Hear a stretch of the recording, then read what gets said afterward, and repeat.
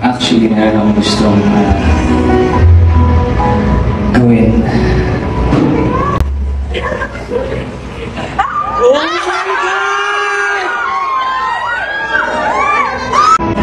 Well, ano pangalan mo? Um, Biglay. Maaari mo ba akong ah, uh, pakasalan?